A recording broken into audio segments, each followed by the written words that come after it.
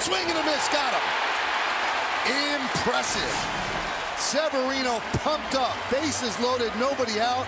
They get a run on a ground ball, and the Yankees hold on to the lead as Conforto strikes out to end the inning. One run, one hit, one error, two left. Look at the reaction of the youngster, Luis Severino.